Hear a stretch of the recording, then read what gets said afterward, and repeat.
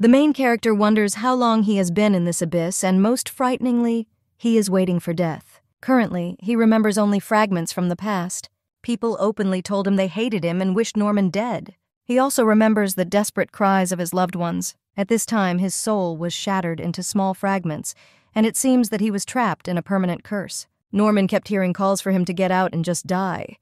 He believed that death was the only way out, but he did not want to die like that. This curse continued until the beautiful voice of the girl brought him to his senses. And it was then that Norman swore that he would devote his whole life to protecting the person who saved him. The designated imperial city celebrated the 500th anniversary of the founding of the empire. Finally, after 10 difficult years, this time came, and the girl confidently stepped forward on the square. Loten's people looked at her in surprise. The girl who was the object of amazement of all present was Alicia Melfont.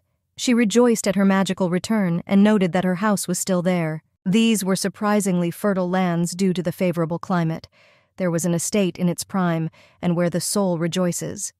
A distinguished family lived in the estate, where famous knights were born for many generations. The heroine remembers her family, namely her parents, who were well known aristocrats in the West, and her brother with his most pleasant wife. The little girl simply adored her family, which was always nothing but joy for her. The heroine also remembers how one morning her father brought a new family member to their house. He informed that from today she will live with them. It was a cute girl with golden hair named Ophelia who possessed divine power. The girls immediately became friends, and the main character was very happy that she had a sister and a friend. Ophelia often complimented Alicia, who was surprisingly beautiful, especially with this wreath of flowers from Teresia. Alicia was so happy about everything. Life seemed so beautiful to her in those moments. She was sure that the goddess Mayera was smiling on them. The whole family was so happy, and it seemed like it would last forever. But one day, black clouds hung over the estate. It all started when a guy named Nix visited them. Alicia immediately noticed something strange and repulsive about him. However, Ophelia, on the contrary, was very kind to him. She led him to the house, despite the heroine's protests. And this was her only, but such a significant mistake. Nix always followed her wherever she went. Alicia, remembering those moments, chastises herself for not being able to discern his true intentions in time. It turns out that he needed not Ophelia herself, but her divine gift. In reality, the young wanderer Nyx was a vicious priest who worshipped the god Arpho, who was known for his dark power. Nyx wanted to take possession of Ophelia's divine power, which could help bring the god Arpho out of sleep. But instead, he caused the dark forces of the god Arpho to fall upon the estate, Thousands of people became victims of the ritual. The heroine's family was not spared either. Relatives shouted that at least Alicia could be saved. In a moment, Alicia lost everything that was important to her and that she loved so much. When, after all, the heroine came to her senses, she was almost alone in a large, empty estate.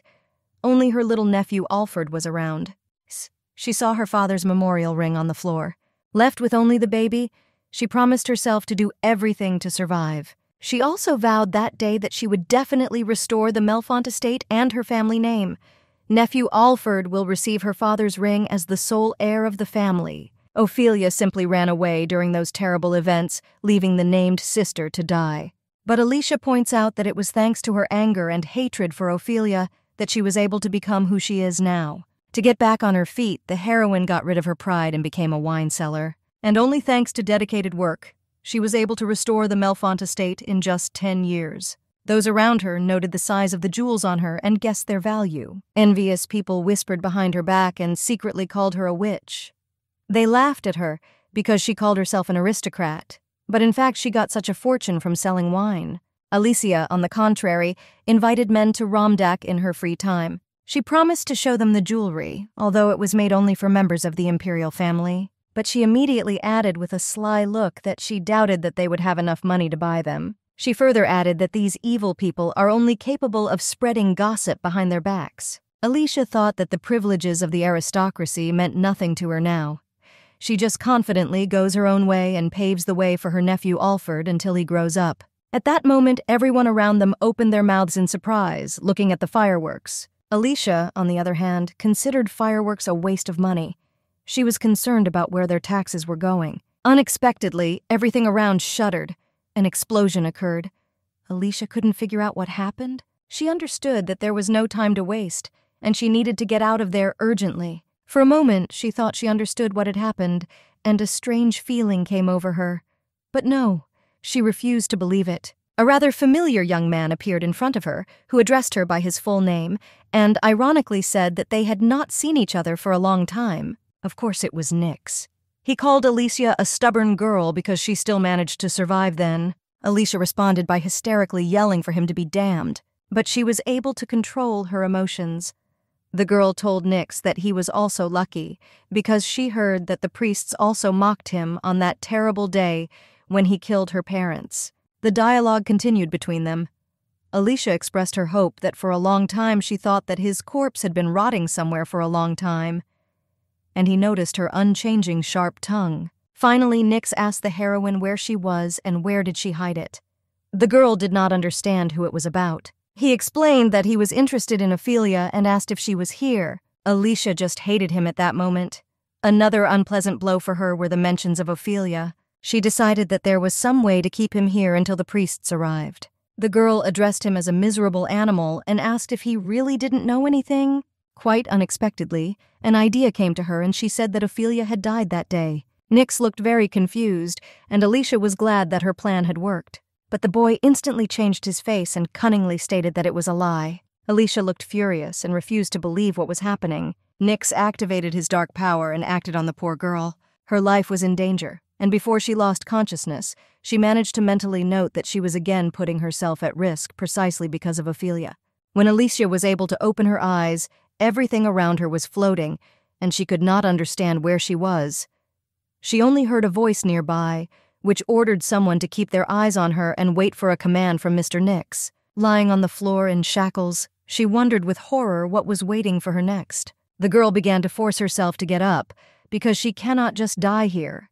She remembered that she was responsible for baby Alfred and could not leave her wine business. After some time, the heroine was able to get out of the bars and ended up on the lake. She did not understand what was happening, but thought that it was all a dream. Next, Alicia saw that there was some wonderful book floating in the middle of the lake. This surprised her even more.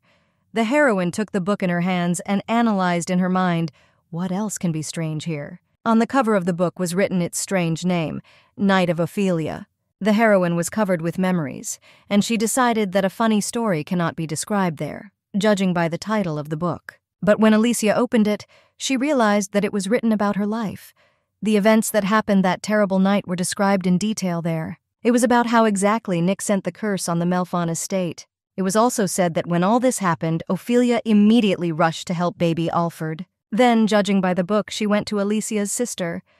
But when she approached her, the life forces had already left the girl and passed to the dark god. Alicia was surprised by what she read, but she did start to remember something. She remembered how the demon's hand grabbed her and she died for a while. Ophelia at that time activated all her divine powers to bring her sister back to life. With the remnants of such powers, she sealed the young Nix who was overthrown. It would seem that after this, as Ophelia was able to defeat the messenger of the dark god, peace and tranquility will follow. Ten years later, however, Nix's men found a way to free him. God's servant Arpho woke up after a long sleep and first of all decided to find Ophelia. Reading the book further, Alicia was surprised to learn that Nix came to the capital because he felt Ophelia's divine power in her. Now she understood why he was asking about her like that.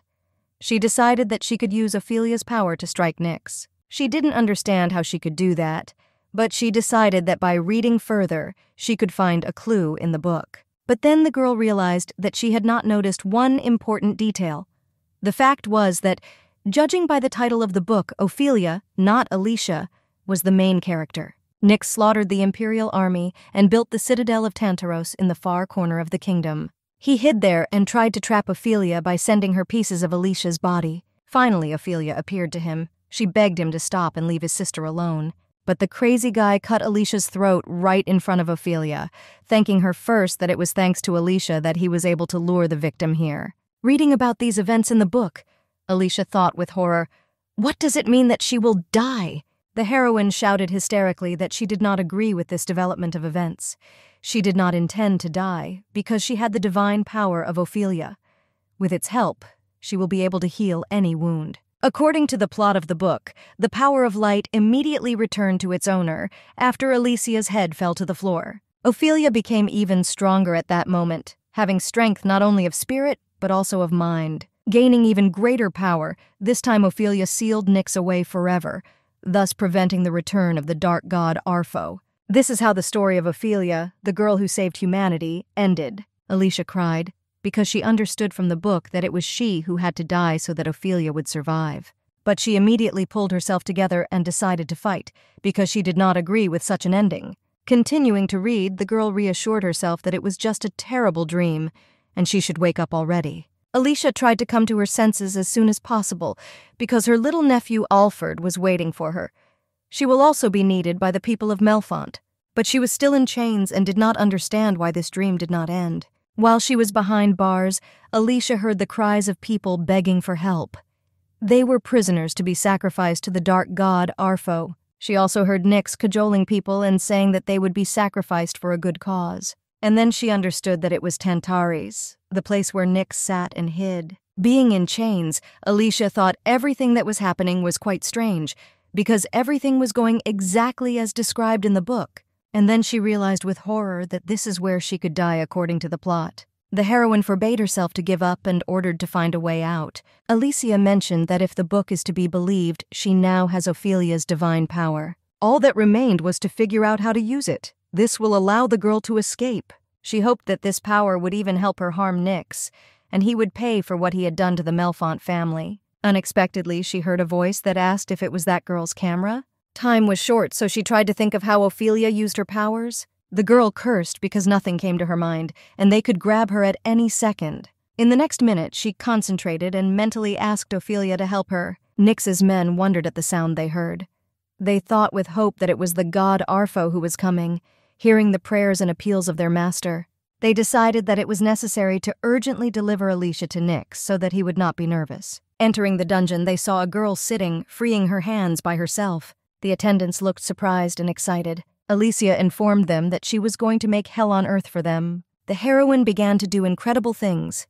It finally dawned on her that Ophelia's divine power was really inside her all this time. Feeling an incredible surge of strength, she decided for herself that she would fight to the end and not accept the ending that was described in the book. In the confusion that she herself had caused, the girl did not immediately notice how she flew several floors and landed below. She gathered all her strength again and decided that the most important thing now is to get out of here.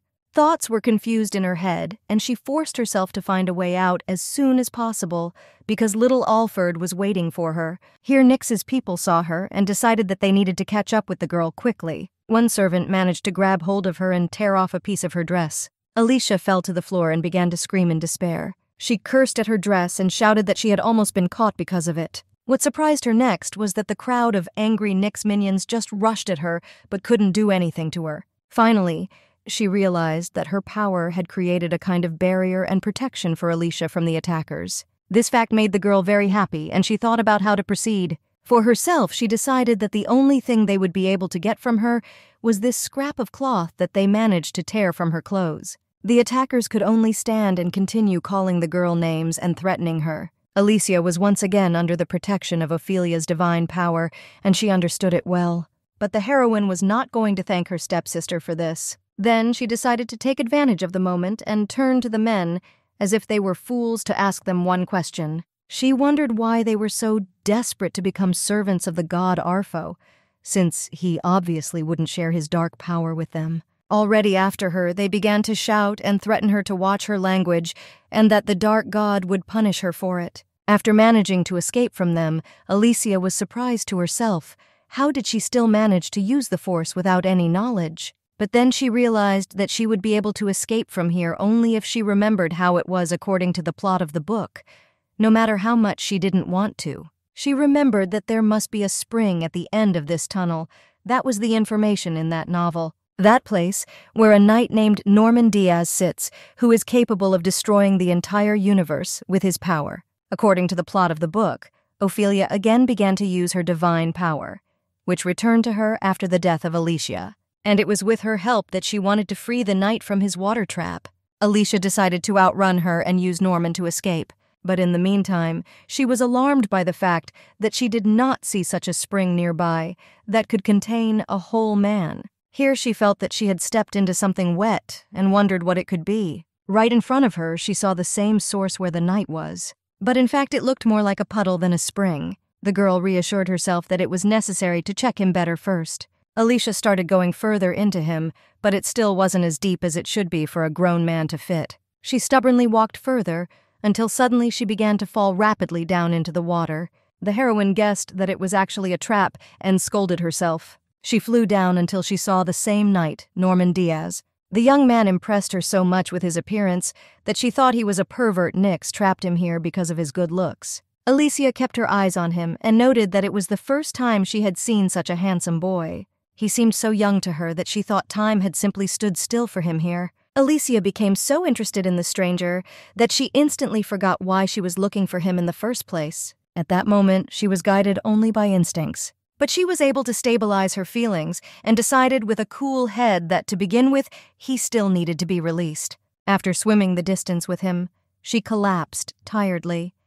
It occurred to her that she needed to improve her physical condition because she was too weak to save anyone at all. The heroine accused the young man that he was too heavy and she even wanted to throw him there. Norman Diaz continued to lie down and did not even open his eyes. Here, Alicia was already tense.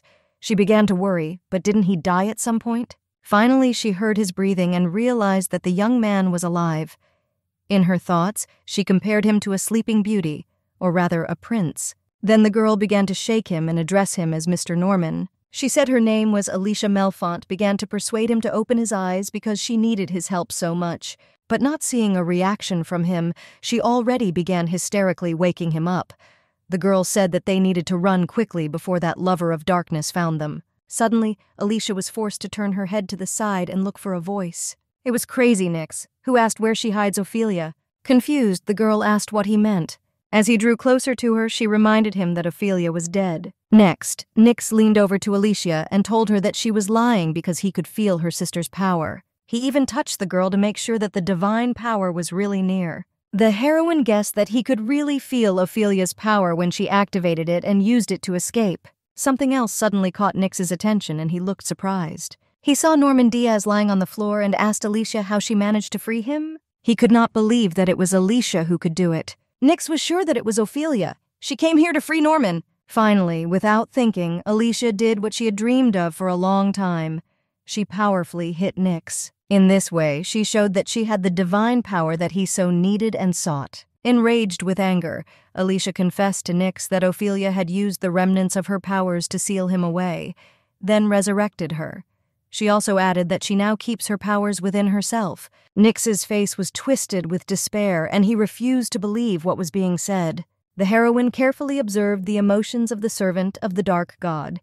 She happily said that now he felt what she felt for so long. Nix, who was in a fit of anger, began to call the girl insulting words and said that Ophelia's divine power could not be used by people like her. Alicia looked like a winner and teased him that now he wouldn't be able to kill her. Nix's eyes were full of pity and despair. He understood that by killing Alicia, he would also damage the power he needed so much. He refused to believe it. The boy shouted that Ophelia was chosen by God so she could not die so easily. Finally, he was able to grab the heroine's leg. Nix called the girl a liar and decided that she had deceived him. Alicia screamed that she only hit him with divine power, so he should believe her. Here she heard a voice commanding Nix that this girl should be killed, and then Ophelia would return. The guy asked the heroine if she heard these words, but he said that it was the voice of his god Arpho. Nix stated that he only needed to kill the girl, and then everything would fall into place. With crazy eyes, he shouted that she had no idea what he needed this power for. Not letting go of the girl's throat, the dark servant said that the precious energy had already begun to flow out of her, so she was not worthy of her. Alicia to die in agony, Melfont was very happy about this. The girl resisted as best she could. She did not believe that she could die here so easily. Suddenly, she heard strange noises and saw Nix being spun by some unknown force. Alicia finally felt free and did not understand what had happened. Norman Diaz was standing next to her and said that she was now safe. The heroine saw a holy barrier, the power of which now saved her. Now she understood why Nix had taken off so abruptly. But in front of her eyes was the crazy and scary face of the attacker, and in her head she heard his voice calling her to him and threatening that she would never be able to escape from him. Then Alicia pulled back sharply and rudely sent Nix away. And Nick sat, bound by some kind of energy, and shouted that he was giving the girl a chance to sacrifice herself to the dark god. The heroine came to the conclusion that the attacker was hunting for her body all this time. Norman, who was watching everything, asked the stranger who this man was and did he want to harm her. Alicia replied that it was a fallen priest who killed all the members of the Melfont family and sacrificed them to the dark god Arpho. She urged that he should not be left alive. The guy asked if she was a daughter of the Melfont family. The heroine sadly answered that she once was, but added that now she is the head of her new kind. At that moment, they saw how Nix managed to get up and shouted to Alicia. The young people defended themselves from Nix, who almost broke the protective barrier. Alicia turned to Norman and stuttered, asking him to protect her. Norman replied that he was sorry, but he did not have enough strength to face the dark minion right now. But he added hopefully that he could buy some time for them. Then they heard the voice of Nix, who urged Norman to surrender because soon their barrier will fall. He also shouted that he would tear the night apart and sacrifice the blood to the dark god. The dark minion was getting closer and closer to them. Alicia was in despair and decided in her mind that this was the end of them. Norman rushed towards Nix. The heroine stood motionless and remembered the events described in the book. According to the plot of the novel, Norman Diaz was a holy knight and had a power that could upset the balance in the universe. This young man predicted her death in the book and reminds her of the imminent danger in the future. But he is also her only savior, Alicia thought. Norman warned the girl that they urgently need to get out of here. Alicia couldn't help but look at Nix's monster. He lay chained to the ground, but still threatened Alicia with a look. In her head, she heard that she would still suffer. The voice in her head also said that death would find her, and this brought the girl into a state of shock. Then she stubbornly shouted that it was all lies and manipulation, and she would not sit idly by and wait for danger. And in her head, she continued to hear that she was only a vessel for Ophelia's divine power. Norman realized that the girl was being tormented by voices inside and begged her to resist it because in this way he wanted to influence her and make her more vulnerable. He reassured Alicia and said that he believed in her because for him she was already a hero who saved him. The guy apologized and once again emphasized that they had to go. Then he took her in his arms and swore that he would save her. Nix remained on the floor, but did not stop trying to send voices into Alicia's head. The young people left that place, but in their wake, a voice warned them that the dark god Arpho would still lead them to hell. Ophelia opened her eyes and began to scream. A man approached her who addressed her by name. A young man named Nicholas Diaz, who was the second son of the Diaz family, asked the girl how she was feeling. Ophelia recognized the young man and asked how long she had been missing and how many days had passed since the festival. Nicholas replied that it had been less than a day and assured the girl not to worry, because Nix could not get what he wanted. He added that they still had time before he killed Alicia. Ophelia scolded herself for being unconscious at a time when everyone needed her, Nix's hiding place while Ophelia rested.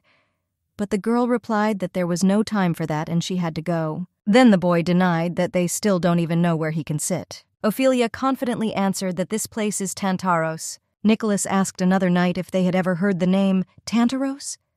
He replied that he had never heard such a thing before. The girl said that she could not explain because this name and the location of the citadel suddenly came to her head. Nicholas listened carefully because he knew that Ophelia had a strong premonition and was never wrong. It was there, he hoped, that he would find clues as to where Norman might be.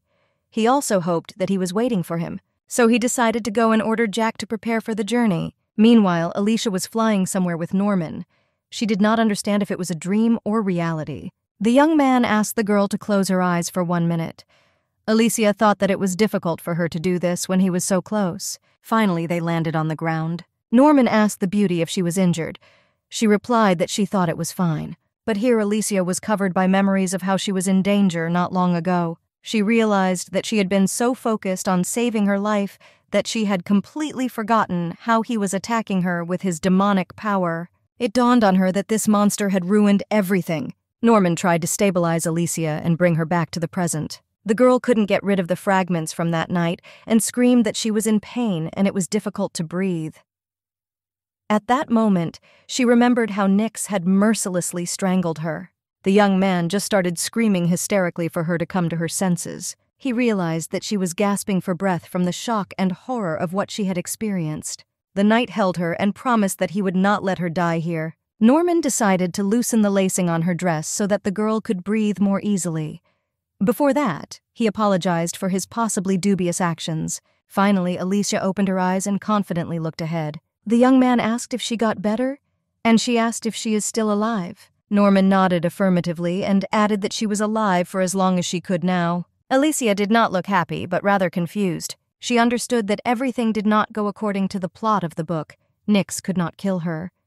Having already moved away from the shock, the girl threw herself into Norman's arms and was glad that she got out of there alive. He replied that now she is safe and everything will be fine. Alicia remembered the threats that she would not be able to escape death forever, so she wondered if she could rewrite the tragic ending. Norman invited her to lean on his manly shoulder. He assumed that all she needed now was sleep. Meanwhile, Nicholas and Ophelia got to the citadel. They wondered why everything around was in ruins. Jack turned to the captain and informed him that they had found the priest of the heretics and that he was lying crushed under the slabs. Ophelia asked to bring a priest to seal him urgently. Nicholas ordered the knight to show the way. Ophelia hoped that when Nix was sealed, they would know all the information. She also mentally noted that something had changed, but she did not understand what. Alicia and Norman were resting. The young man noted that the world has not changed at all. He regretfully admitted that now he must be the head of the family because he is the only one left alive. The young man continued to wonder how much had happened while he was asleep. He had a picture of his little brother screaming in his head, but he thought that they must all be in a lot of pain. He blamed only himself for everything. Memories washed over him. He remembered the first time he had told Zoe his full name, Norman Diaz, to a friend. His interlocutor was surprised by the sound of his name. Zoe was a name prefix given by God himself and used only in the family. Then, a long time ago, Norman revealed his name to his friend Iago, because in fact he already considered him a brother. They went through a lot together. He also admitted then to Iago that he is like a family member to him. But despite the fact that they were together in every difficult battle, the moment came when Norman asked him a direct question to his face, because he did not expect such meanness from him. Iago immediately went mad and began to call upon death to come for his enemy Norman Diaz Zoe. Norman realized too late how blind he had been, unable to see his friend's true intentions and hatred for him. The boy remembered that he himself once told a secret to Iago, and he imposed an ancient curse, but he also needed the real name of the victim. Norman begged him not to do this and to let the boy go.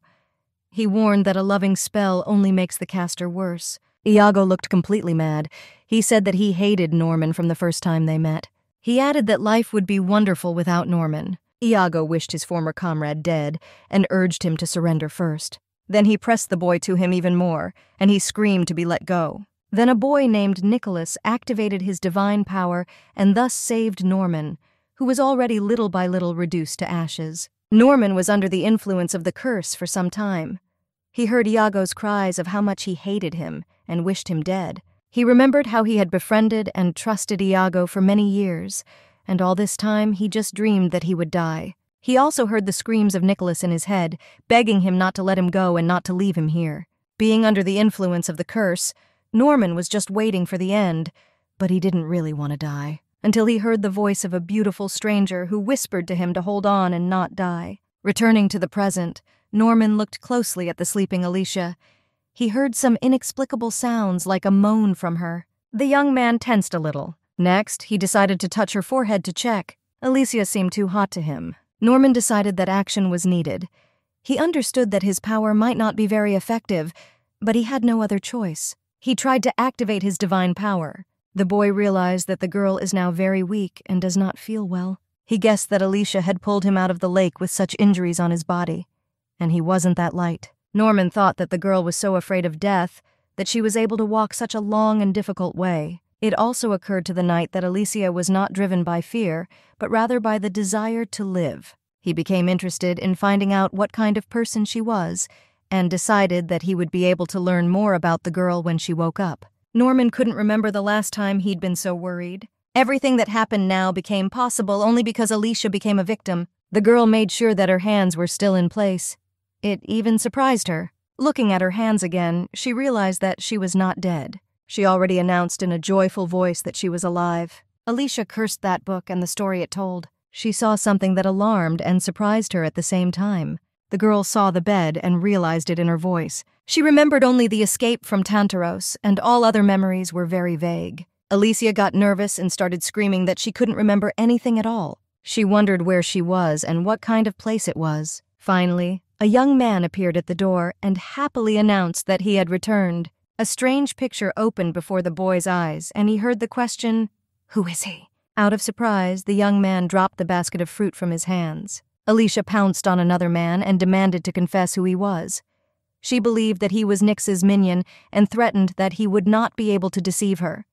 The man shouted that he was just old. Shocked, Norman began to calm the girl and said that these are only good people who sheltered them. Alicia didn't trust Norman. She believed that strangers could not do it just like that. The old man excused himself and said that he saw how unkempt their clothes were, so he understood that they had no money. The girl said she did not understand what he meant. In fact, there was only one ball on her. She was dressed in her grandmother's nightgown and she was completely bossy. And she also had a wedding ring on it, which could not be sold. While Alicia mourned her silk dress and jewels, Norman apologized to his old masters for his companion's actions. Norman thanked her for her understanding and explained that she had been through a lot. The owners got into position and told the boy that he was very kind. Left alone, Norman told Alicia that he guesses that she doesn't understand anything now. He explained that he thought he would have time to return before the girl woke up and then tell her everything. He expressed his joy at seeing a girl who had already fully recovered and came to her senses. They noticed that the wounds on her hands had disappeared. Alicia asked how it was that she recovered so quickly. Norman didn't know what to say when he heard the question about his divine power. Instead of answering, the young man offered the girl a snack. He said that he brought apples from the forest across the street because they have no money, so they will eat like this for the time being. He held out the apple and assured that it was not poisonous. Alicia accepted the fruit and turned to Mr. Norman. The heroine dared to ask who changed her clothes when she was unconscious. Norman was not confused and answered that it was an old lady, the owner of the house. He added that her clothes were wet and dirty.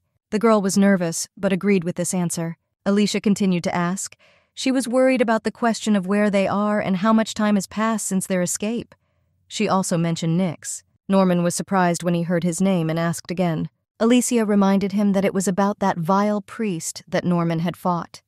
She demanded some information about him. Norman admitted that Nix had received a powerful blow filled with divine power. But he added that it will most likely paralyze him for a while, several weeks or even more. Norman expressed his sadness that he couldn't finish him off then. The fact is that while he was under the curse, he lost a lot of strength. Alicia noticed that the young man talked about everything with a smile on his face, and this alarmed her. Norman informed the girl that she had overslept two days after escaping from the citadel. The girl was surprised because she thought that she was not asleep, but lost consciousness. The young man said that he carried her in this state through the forest until they reached a village. This place is called Thule. Alicia mentioned that the village of Thule is located on the border of the Empire and the East Coast. Having a good orientation in the area, the girl guessed that this place is not so far from the headquarters of the Romdak Guild, so they can easily return to the Empire. Norman turned to the girl and asked permission to ask one question. Alicia agreed. The boy asked how the heroine knew that he was in that lake. Alicia looked alarmed and was silent for a while. Norman admitted that he was worried about several points. He did not understand why the girl saved him, and even to this day he does not know her name. The heroine hesitated to tell him what she had read about him in a book. Alicia began to imagine that she had heard how the first son of the Diaz family had simply disappeared a long time ago. She went on to say that she had found him in this lake in Tantaros. Intuition seemed to immediately tell the girl that he was the very first son of the Diaz family. Norman did not give up and continued the interrogation. He wondered why Nix had sealed him and kidnapped the girl. Alicia replied that Nix is trying to become the successor of the dark god Arpho and is doing everything for it. It is known that Arpho gave the universe the seven deadly sins thousands of years ago. People started killing each other with the help of dark forces. Myera, the goddess of life, could not see the death of her children, in whom she invested divine power, so she struck the demon and sealed him away. Also, the goddess Myra hid the dark curses of Arpho in the pages of a secret tome so that her children would forget this horror forever. This folio was placed by the people in the far corner of the temple to be buried there for a long time. But Nix, who had a strong divine power, was able to quickly find this secret tome. He shouted for the minions to release their hatred and called to curse all enemies. People listened to him say that this is the only path that leads to true liberation. For priest Nix, the magic of Arpho's curse and the power it gives was a very strong temptation. After he defeated Norman, he planted him in his lair. It was like his trophy, which he had won for the first time as a servant of the god Arpho. Alicia knew the whole story and considered herself a fairly honest person, but she admitted that she could not tell the young man to his face that he was a living trophy of a demon. Instead, she said that Nix used divine power to seal Norman and his curse away, then went to Melfont Manor. She added that until that moment, he was a priest of Mara. The girl knew all this thanks to the book. Nix gained dark powers after sacrificing the people of Melfont Manor. The heroine continued the story and reported that at the end Ophelia struck Nix, but his successors resurrected him. The girl said that after he came back to life, he immediately sought out Alicia and kidnapped her. Norman was shocked by what he heard and expressed regret for the loss of the girl. Alicia replied that it was all in the past and asked if her story helped him. The young man thanked and said that a lot had happened in the last ten years. He said that the owner of the house told him that the Lawton Empire was founded 500 years ago and that this date will be celebrated. Norman remembered his brother Nicholas and assumed that he must have grown up. The young man felt guilty that the boy must have worried about him all these years. He clarified that Nicholas is his dear younger brother. Alicia asked if it was about Nicholas Diaz and said that she had seen him several times in the evenings. Norman was very excited and started asking the girl about him. The girl replied with satisfaction that he was doing well. In her mind, she understood the reason for this because he was courting Ophelia. She said Norman would be surprised at how his brother has grown but she did not want to tell him that in fact he had become an arrogant fool. The young man beamed with happiness and said that he could not wait for the meeting. Alicia replied that she was very happy for him. Then Norman asked the girl her name because she never gave it. The heroine waited for the right moment and presented herself in full. She said her name is Alicia and she is the head of the Melfont family and the Romdak Trade Guild. In Melfont Manor, the servant delivered the letter to Mrs. The lady's name was Erica, and she was Alicia's secretary. The message was sent on behalf of the Paladins. The letter informed the lords of the kingdom about the latest events related to the riots in Lothen. It was also said that during the expedition to the western borders of the kingdom, Tantaros was found, which was the hiding place of Nix. The sender reported that traces of a heretic killing people and sacrificing them to the dark god Arpho were seen inside. It was reported that when they arrived at the site, Tantaros was already in ruins, and Nix, who was unconscious, was picked up by temple servants to be resealed. Unfortunately, the whereabouts of the young lady who was kidnapped at the festival is still unknown. In the letter, it was written that some followers of Nixa managed to escape, so they advised to avoid any communication with the followers of certain religious organizations if possible. Erica, after reading the letter, said that it was signed by Nicholas Diaz, a representative of the Paladins. The maid asked, frightened, what should they do now? Erica assumed that Lady Alicia was not in Tantaros, so either they killed her and hid her body before the arrival of the Paladins. The secretary girl expressed the hope that the lady could have escaped. Alicia examined the plate of food. Finally, she began to eat. Norman offered the girl to bring a warm drink. The heroine was amazed, because she knew very little about him from the novel and did not think what he was really like. She recalled how the young man encouraged her to resist and supported her, telling her that she would make it. He called the girl a hero who saved him, so she has the strength to survive all this. Alicia decided that Norman was extremely cute. At lunch, the girl began to analyze what had happened. She remembered that she was kidnapped on the first day of the festival and thrown into the dungeon of Tantaros. She was unconscious for the next two days, so it turned out that the heroine left the Melfont estate three days ago. Alicia reflected that she had used that time to change the ending of the book, but she is still unsure if she can stop her death. In her mind, the heroine scolded herself for the fact that her absence for such a long time was putting the life of her little nephew at risk. She guessed that Cousin Gale would try to become Alfred's guardian because he had long been interested in the fortunes of the Melfont family. Alicia was also troubled by her foolish fiancé, Philip Morfolk, who could steal the family's money and run off with his lover. The girl was worried about Alfred, who could become an easy prey for anyone who wanted their money. At one time, she also remained alone among the greedy nobles who revealed their true colors. Alicia decided to leave in order to prevent those brats from acting. To begin with, she thought of going to the nearest city, where her guild Romdak was located. When the question arose about the money for this trip, Alicia mentioned her precious earrings. But the girl understood that in such a state she could not go alone, so she went to talk to the owners of the house. She apologized and asked if they could recommend any mercenaries who would be willing to cooperate without a subscription. In response, the married couple asked what would happen to her husband, to which the girl was very surprised. Alicia cursed as she saw Norman return to the house. The young man asked. Maybe she was hungry while calling Alicia her love. Without thinking, the girl answered that she had just eaten three buns, and only then did she realize how he addressed her. The guy invited the girl to go to their room. The owners of the house were amused by them because it was youth and love. Left alone, Norman apologized to the young lady for his inappropriate behavior. Alicia replied that it was even better because they would have a lot of questions about why they were traveling together. The girl warned the young man that she was quite a well known person. Therefore, if her acquaintances see it, rumors will spread. Therefore, she offered to tell these elderly people the truth, because soon their paths will diverge altogether. Norman replied that they couldn't just part ways. Alicia asked in surprise the reason for this. The young man asked permission to accompany the girl to her estate. The heroine thought that it would not be so bad if there was a person nearby who could protect her, but she was least worried about personal safety. The most important thing for her was to regain control of her estate. Time was short, and Norman could have prevented Alicia from doing so in her mind. She thought the return of Diaz's first son would bring a lot of attention to them. The girl was sure that the crowd would gather even to look at his cute face. And she didn't need that at all. But Norman worried the girl anyway, because he was a reminder that the curse described in the book still exists. So Alicia dared to tell him that he was making her uncomfortable. At first, Norman couldn't find anything to answer and just stared with his angelic gaze. Then he began to plead with them to stop pretending to be man and woman and promise to be careful in public. Alicia replied that the young man did not understand her at all. She reported that she had rebuilt the Melfont estate in 10 years while working as a common trader.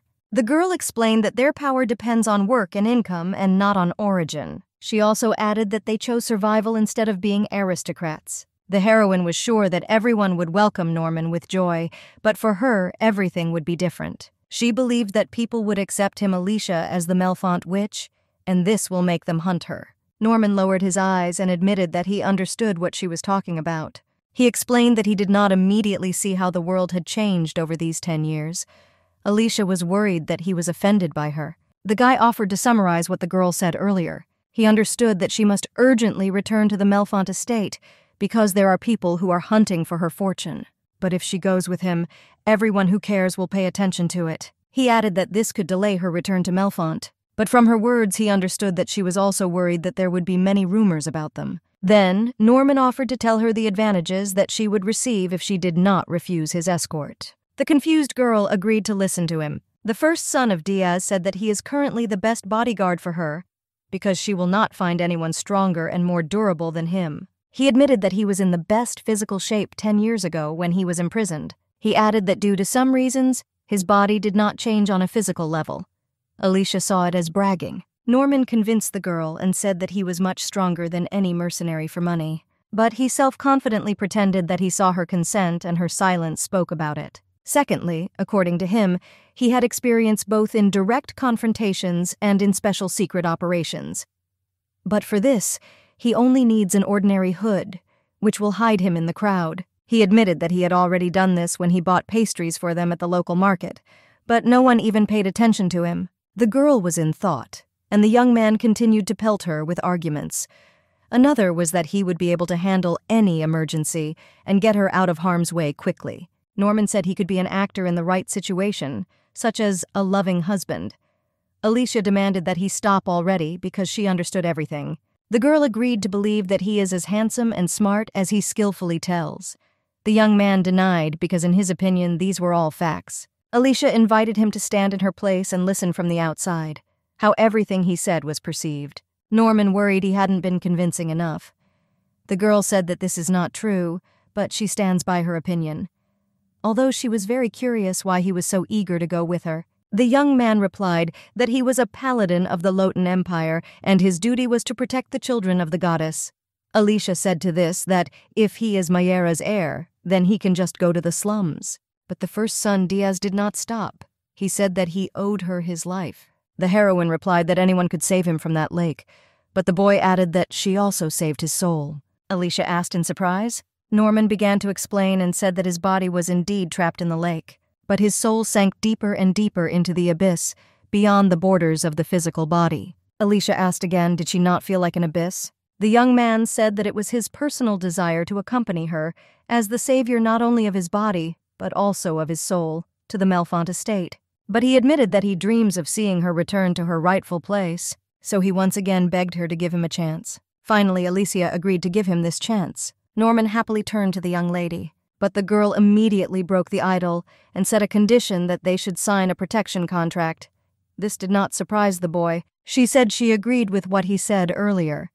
But in her opinion, there are still some risks and moments that need to be recorded. She urged playing it safe for both of them. Seeing Norman's confusion, Alicia asked if he agreed. But the young man began to laugh and apologize because the whole thing was in the words she said before that. This made the girl angry, and she did not understand what was funny here. Norman tried to explain that it is not so easy to find a person who understands the world so well. The heroine asked if this means that she should make a contract as she wanted. The boy objected and said that they should do it together to take into account the interests of both parties. At sunset, the young people thanked their hosts for their hospitality and promised to repay them in kind if necessary. In response, the elderly wished them a good journey. The contract was drawn up by Party A, Alicia Melfont, and Side B, Norman Diaz. Norman advised the young lady to relax and behave more naturally so as not to attract attention. The contract stated that Party A was to pay Party B after they arrived at the Melfont estate.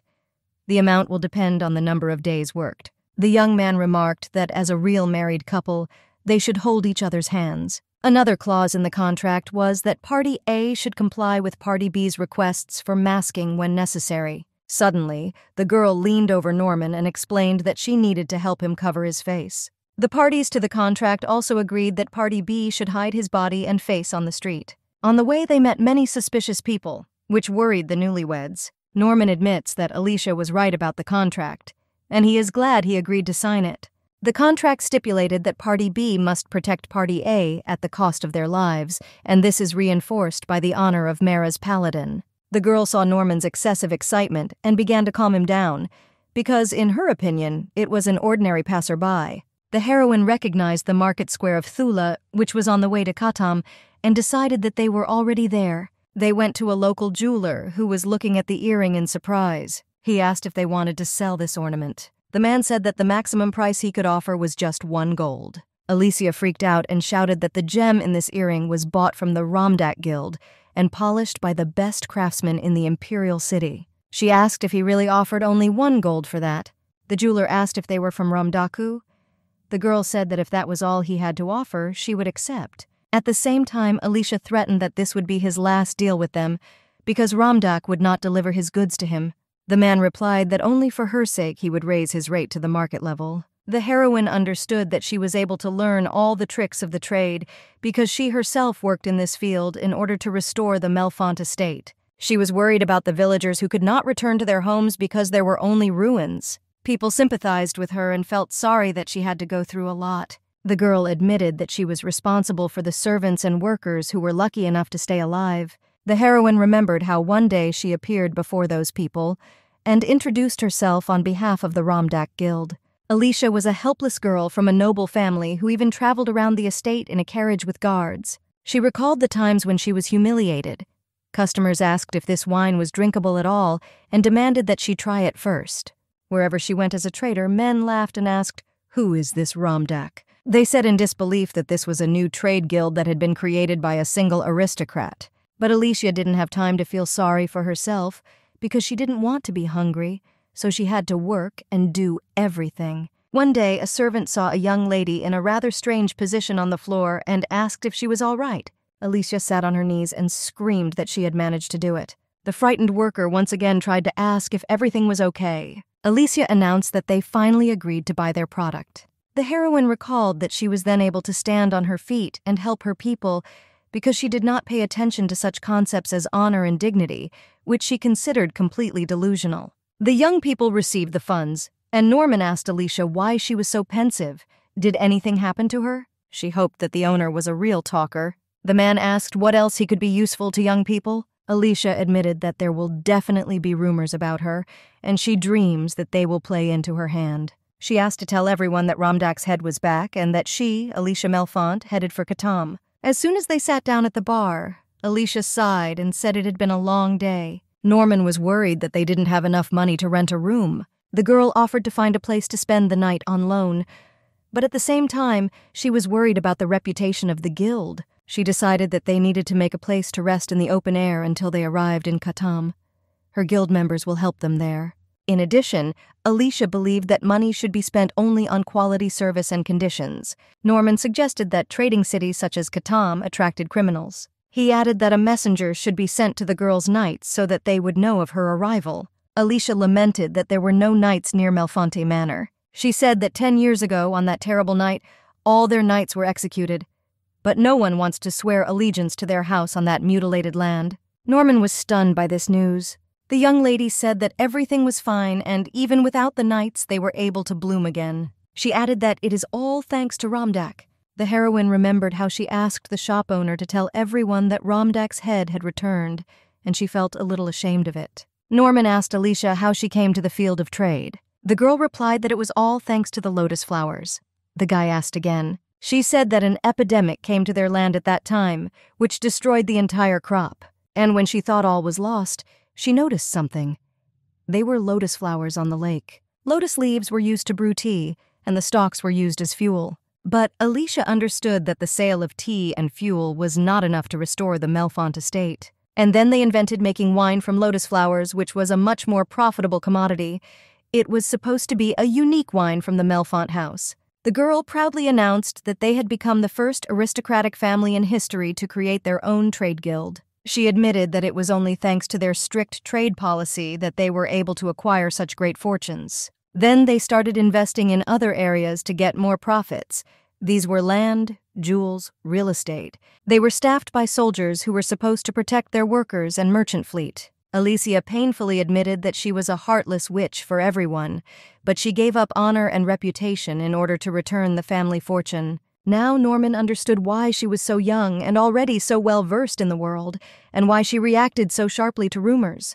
The young man tried to calm the girl down and said that he believes that making a profit for the sake of saving many people is much more noble than just honor and dignity. Alicia admitted that she stopped paying attention to her honor and dignity a long time ago. Other visitors recognized the girl and began to whisper whether it was the head of Romdak who was killed at the festival.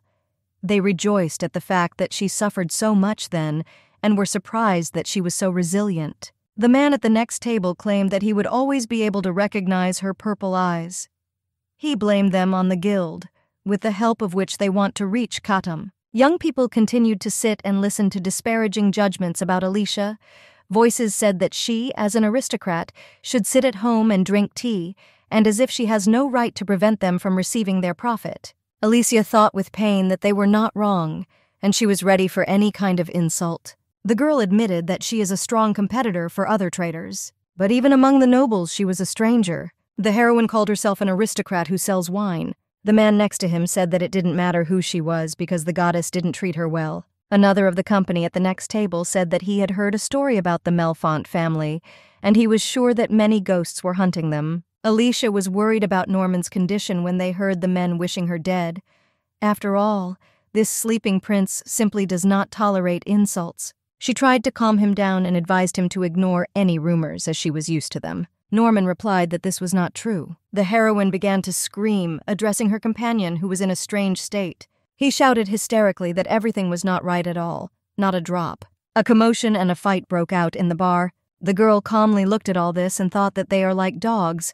They can only bark without resistance. But she was also worried that the fight in the tavern might turn into a problem for them. Alicia begged Norman to stop, because she was afraid that he might kill the insolent stranger. She tried to convince her companion that everything was really okay. Norman did not give up and continued to argue that this was not the case. He clarified that all is not well with the girl. Alicia persuaded the young man to leave, and he continued to tease the man and said that he would teach him to be responsible for his words. The heroine asked Norman not to complicate the situation and called him a stupid fool. Soon they saw the friends of the man Norman was beating start to come at them with threats for his rude behavior with them. Alicia shouted nervously to the young man that they had to go. Otherwise, she would leave him here. The men started shouting that the newlyweds were leaving and urged them to run after them. Norman ran after the young lady and warned her that she was having trouble breathing. He asked if she was sure that everything was fine. Alicia was mentally angry with the young man. She didn't understand why he was so worried about her for no reason, because it was a violation of their contract. She decided to deduct from his salary for these indiscretions, and this, in her opinion, will be even little compared to the damage he caused. The sleeping prince continued to persuade the young lady to walk more slowly because she might get sick. Alicia not jokingly exclaimed that she was already tired of his constant commotion. She asked if Norman didn't like something and wanted to hit her. The frightened young man assured that it was not so, and there was no need for it. She reminded him that the first son of the Diaz family does not tolerate insults, so he does not understand what is preventing him from hitting her now. Norman began apologizing for his behavior in the tavern. He added that it is the business of every paladin to punish those who allow ignorance towards others. Alicia screamed that what was the point? She said those fools are right.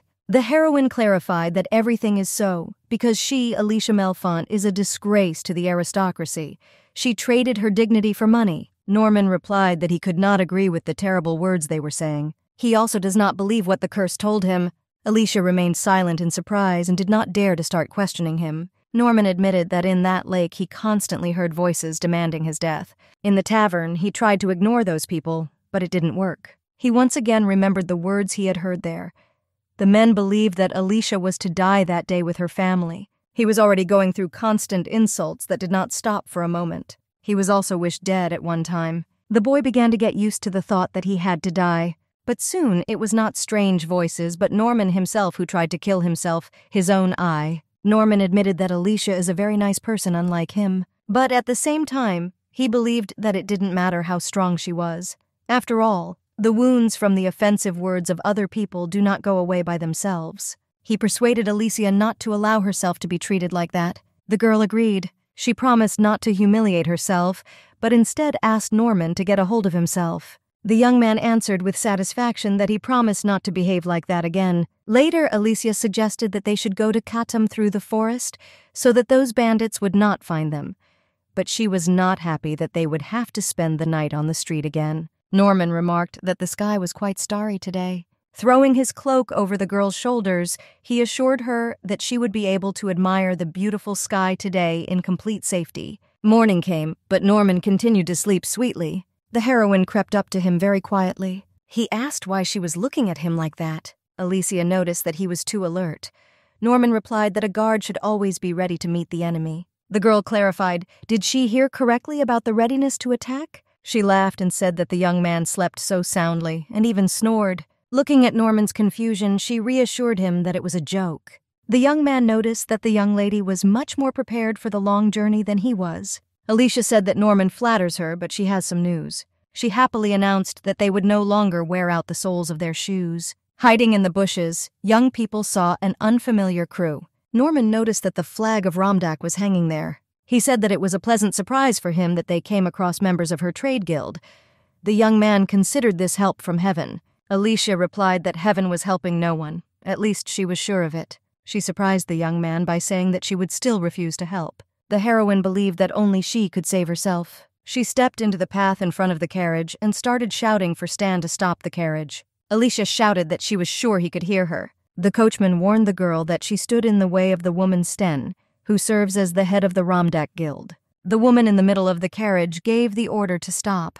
Alicia and Norman continued to stand in silence. A woman Sten appeared in front of them, the acting head of the Romdak Guild. Stan started running. She threw herself into Alicia's arms. The alarmed woman began to cry and said that she was very worried because she thought they had lost a young lady. She asked Alicia if she had been watching her diet because she had lost so much weight. Alicia mentally recalled the abundance of baked goods. Norman thought happily that this elderly woman looked kind. Stan asked in surprise what was that glow next to them. She meant a very cute and handsome guy who was with Alicia. The woman whispered in the young lady's ear to leave that fool Philip Morfak and connect better with this guy. This angered the girl, but she corrected Philip's last name because he was a Morfolk. Alicia thought that she no longer needed a bodyguard because now she was under the supervision of Stan and the knights. The woman continued to admire Norman, and the heroine worried that traveling with him could make things difficult for them. She dared to tell the sleeping prince that they had prepared everything so that he could return to his family as soon as possible. He looked puzzled and asked politely. Alicia confidently announced that it was time to break the contract. There was silence between the people in the carriage. Norman decided he couldn't just give up. Alicia did not want to behave in his angelic eyes. The heroine said that she would pay him according to the terms of the contract, but she would deduct one day when the fight in the tavern took place. She gives him a horse and carriage free of charge, but she asked them to separate where the road will divide. It was difficult for the girl to voice it, and she regretted that she could not just ignore him. Norman said he was very scared. He explained that the world has changed a lot in the last 10 years, and he has become a complete stranger here. He was worried if he could find his way home on his own. Stan began to feel sorry for the boy. She said she was very sorry. The woman told him not to be afraid, because he can always go with them. Alicia begged Stan to stop. Norman asked the young lady if it was possible. Alicia was angry that she could not immediately refuse him, so as not to appear heartless in their eyes. She agreed on the condition that he would not go with them to Melfont Manor. The young man nodded affirmatively. The girl noted that they should definitely part ways in Katami. The knight told Alicia's secretary Erica that they found her, and now she is at the hotel with Madame Stan.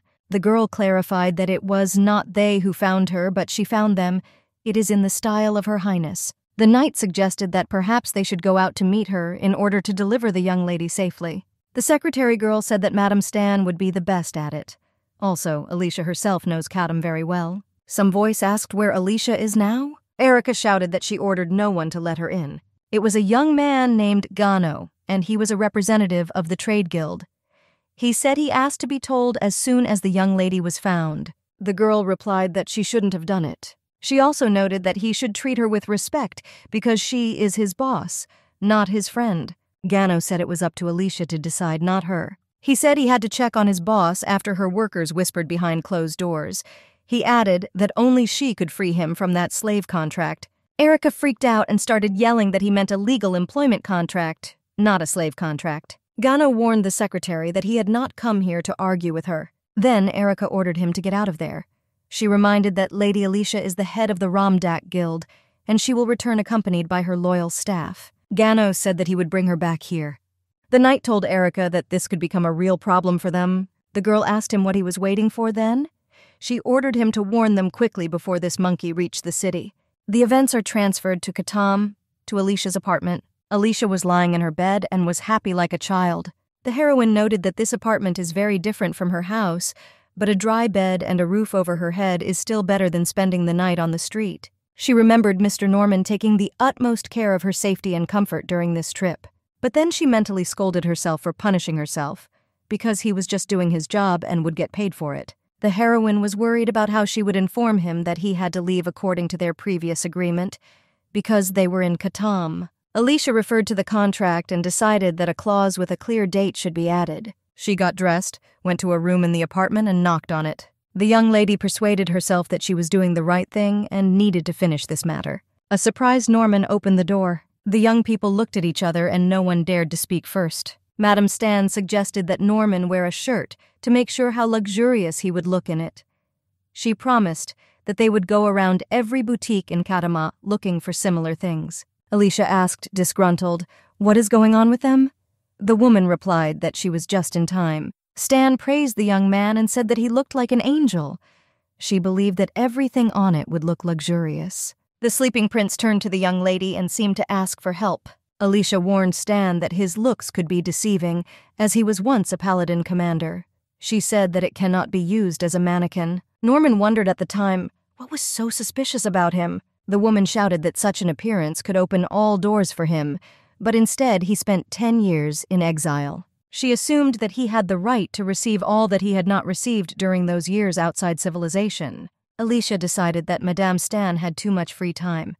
The woman replied that now they all breathed a little, because the young lady had returned. The heroine adjusted herself that the leader should show everyone who is in charge here. She said she needed to discuss the details of the contract on behalf of the guild with Mr. Norman. But she added that she did not want them to be disturbed, the girl hinted that this applies even to Stan. The woman meekly agreed and asked to call her if she was needed. When they were alone, Norman noted that the young lady was acting perfectly. Alicia replied that it was all true. She reminded them that they had to discuss the details of the contract. Norman looked puzzled and just remained silent. The heroine announced that according to their contract, the young man should be provided with transport, some amount of money in cash and food. She added that with all this, he would be able to drive to the family estate. The girl said that it should be shipped in a week, and she added this clause to the contract. Alicia asked if he wanted to look at the changes. Norman continued to be silent, and the girl called him. He looked out the window and noticed that people outside were having fun. The girl looked out the window with him with interest. Together, they noted that even at such a time, the streets were crowded. Alicia clarified that they were celebrating the founding of the empire, and tonight they would be partying all night.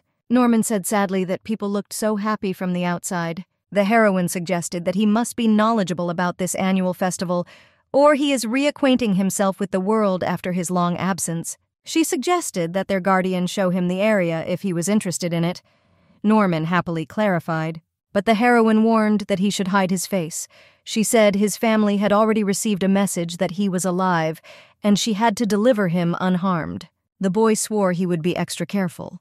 He dared to ask if Alicia would go with him. The girl delicately replied that she had a lot of work to do. Norman replied that in that case he would be forced to remind her of the terms of the contract. Stepping out onto the square, Alicia thought he'd hit her below the waist, and she had no choice but to agree to go out with him. The young man said that even with the latest changes, the contract still had a week to run. He added that he must always be with the girl as her bodyguard, according to the document. Norman admitted that he could not move calmly without the young lady. Alicia was nervous because, in her opinion, he obliged her to go with him. The boy took out a beautiful piece of jewelry and said that the purple color suited the heroine so well. Young people stood in the middle of the square, not hiding from anyone. They were being followed by a man with a dark, evil look. He turned to his master and said that he came here for this sinful soul. He hopes to see his will fulfilled. He also begged that the god Arpho be allowed to take her soul to hell. Alicia pressed herself against Norman and became nervous. The young man was also frightened by the number of people on the street at night. Norman suggested that the lady take his hand. She replied that she does not like to be touched. A man with scary eyes approached the young people. He ordered that Alicia Melfont followed him, but he added that he would call her to the depths of hell. Unexpectedly, Gano crept up to him and told him not to move, otherwise he would wring his neck. At this time, Alicia and Norman were calmly walking around the square. Gano tied up the stranger and wondered what kind of fool he was. He looked nervous because it was because of this old man that he couldn't keep up with the young people. The stranger raised his head and looked into Gano's eyes. The boy was very surprised by what he saw and he cursed. Before that, he met Ophelia in the square and asked what she was doing here. She told Gano to do as she said if he wanted Alicia to return to the estate safely.